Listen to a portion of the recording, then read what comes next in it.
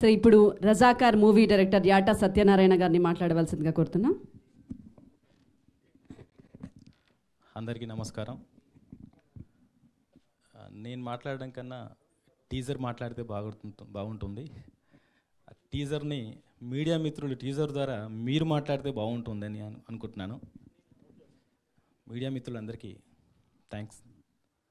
పెద్దలు ఎమ్మెల్యే రాజాసింగ్ గారికి ప్రొడ్యూసర్ గూడూరు నారాయణ గారికి అనుశ్రీ త్రిపాఠి గారికి నా ఫ్రెండ్స్ అందరికీ నా టీంకి నా డిపార్ట్మెంట్కి అందరికీ థ్యాంక్స్. ఈరోజు సెప్టెంబర్ సెవెంటీన్త్.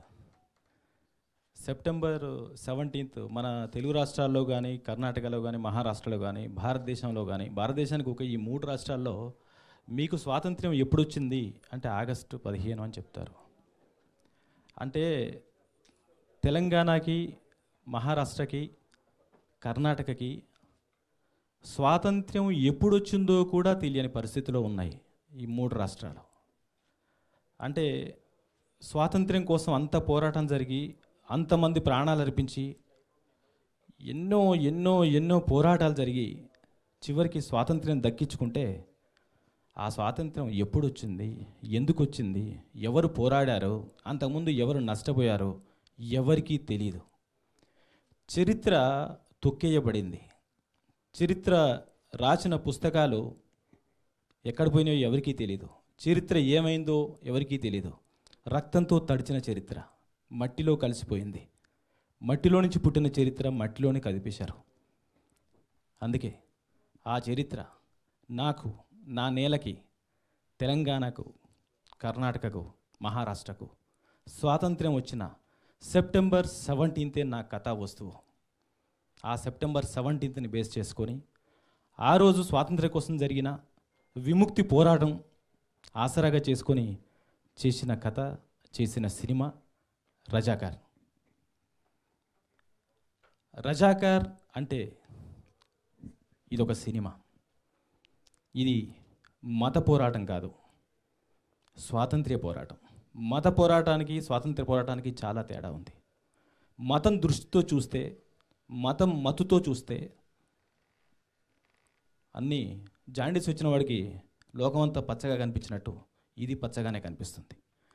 ఇది మతం దృష్టితో కాకుండా పోరాటం దృష్టితో చూస్తే ఈ ప్రాంతానికి జరిగిన అన్యాయం దృష్టితో చూస్తే ఆ తర్వాత వచ్చిన స్వాతంత్రం దృష్టితో చూస్తే ఇది ఒక చరిత్రగా నిలబడుతుంది. ఇది చరిత్ర మావల మాత్రమే. ఇది మత చరిత్ర కాదు గత చరిత్ర. అది అది తెలుసుకోవాలనేదే మా ఉద్దేశం. దీన్ని ఈ సినిమాని ఇంత బాగా చేయడానికి నా వెనుక ఉండి అన్నలా సపోర్ట్ చేసి దీనికి ఎంత ఖర్చైనా పర్వాలేదని ముందు నిలిచి ఈ సినిమాని ముందుకు తీసుకొస్తున్నది the star producer Guduru Narayana Reddy గారు. నో డౌట్ మా దగ్గర హీరో లేడు. మేము హీరో కోసం కానీ ఇంకో దాని కోసం కానీ తాపత్రయపడలేదు. మా కథే హీరో మా చరిత్రే హీరో మా సబ్జెక్టే హీరో. స్వాతంత్ర్యం కోసం ఇక్కడ జరిగిన పోరాటమే హీరో. కాబట్టి ఇది మన చరిత్ర మన గత చరిత్ర మన పెద్దల చరిత్ర కాబట్టి మీరందరూ ఈ సినిమాని మీరందరూ ఈ సినిమాని మీ బుధ స్కంధాల మీద వేసుకొని ముందుకు తీసుకెళ్తారని దీనికి మీడియా సహకరిస్తుందని నేను కోరుకుంటూ ఉన్నాను. ఇంకో విషయం ఇది పొలిటికల్గా మాట్లాడాల్సిన మాట కానీ సినిమాగా కూడా చెప్పాల్సిన అవసరం ఉంది. ఈరోజు విలీన దినోత్సవమా విమోచన దినోత్సవమా సమైక్యత సమైక్యతా దినోత్సవమా?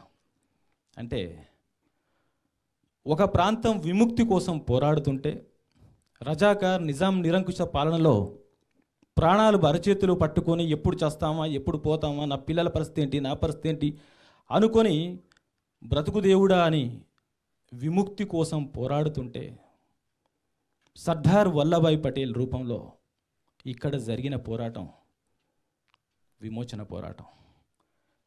ఆయన చేసిన పోరాటం ఆయన చేసిన యుద్ధం సెప్టెంబర్ సెవెంటీన్త్ ఇక్కడ ఉన్న విముక్తిదారులకి విముక్తికి విమోచన కలిగించింది. విమోచన కలిగించిన రోజే విలీనం జరిగింది. విలీనం జరిగిన తర్వాత మనందరం సమైక్యతా భావంతో ఉన్నాం. కాబట్టి ఎవరు ఏ పేరు చెప్పుకున్నా చరిత్ర మారదు. ఎవరికి ఏ పేరు అవసరం ఉంటే ఆ పేరు చెప్పుకుంటారు. బట్ చరిత్ర మాత్రం ఇదే. ఇక్కడ జరిగింది విముక్తి పోరాటం విమోచన పోరాటం విలీనం జరిగింది. అందరం సమైక్యత రాగంతో ఉన్నాం. ఇంకో విషయం ఏంటంటే నేను ముఖ్యంగా చెప్పదలుచుకుంది ఇదేదో మతాన్ని దృష్టిలో పెట్టుకోనో ఇంకొక ప్రాంతాన్ని దృష్టిలో పెట్టుకోనో కొందరు వ్యక్తులను దృష్టిలో పెట్టుకోనో చేస్తున్న సినిమా కానే కాదు. సినిమా చరిత్ర చరిత్రలాగానే తెరకెక్కించాం తప్ప ఎటువంటి మసాలాలు చూపించలేదు. నిజంగా చెప్పాలంటే ఆ చరిత్రలోనే చాలా మసాలా ఉంది. మేము ఆ మసాలాను తగ్గించాం. మేము ఆ మసాలాను తగ్గించి చరిత్రని చరిత్రలాగా క్లీన్గా చెప్తున్నాం. కాబట్టి చరిత్రను చరిత్రలాగా చూసే ప్రతి ఒక్కరూ దీనికి క్లీన్ యూ సర్టిఫికేట్ ఇవ్వాల్సిందే. Thank you thank you so much.